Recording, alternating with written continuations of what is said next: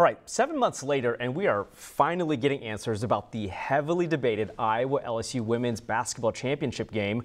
According to an NCAA review, the officiating was below expectations. Officials were graded on the accuracy of their calls, and that number fell short. The NCAA typically likes those calls at 91% accuracy, so this game was below that at around 88%. So that 88% correct call rate was actually on par with the rest of the 2023 NCAA tournament.